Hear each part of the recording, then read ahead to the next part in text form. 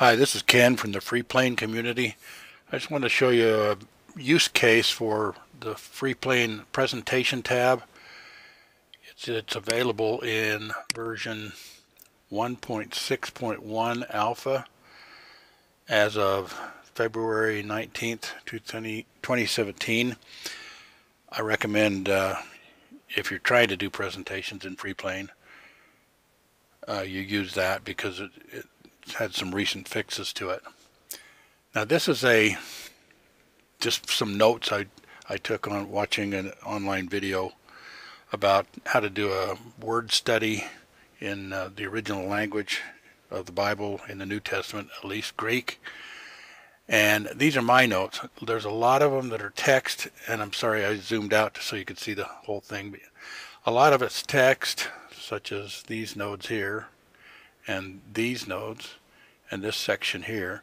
Some of it is uh, screenshots I've taken. So it's a mixture of, of stuff. So I'm going to go to View and Toolbars, and I'm going to open the Properties panel now. On my computer, it's F9. So if you hear me saying F9, that's what this is.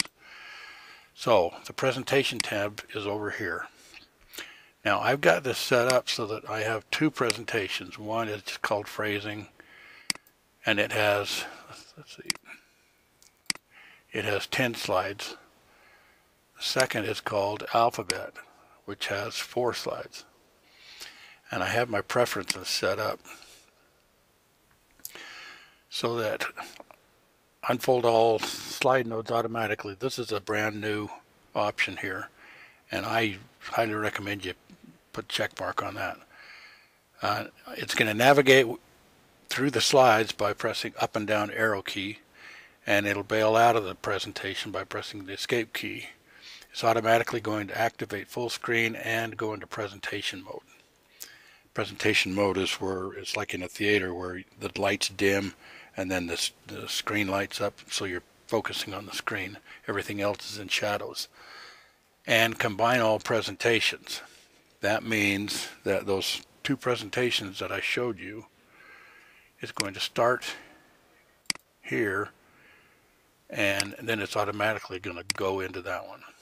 That gives you the ability to break up your presentation, your overall presentation, into kind of mini presentations so that each one is not overwhelming in the number of slides you have. So I'm going to go back here to the first one, go to the first slide, and I'm going to go into present so that's the first slide. I'm going to move this mouse cursor out of the way a little bit. Now I'm pressing down arrow key.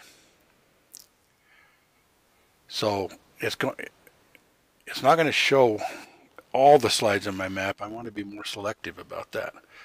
So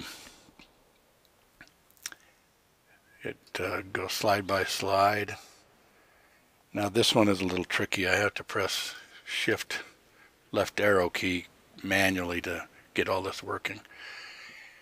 And it's it's really uh, pretty handy that in the middle of pre my presentation I can open up the icons and let's say that if this is a left indent I want to illustrate that with uh, the back arrow.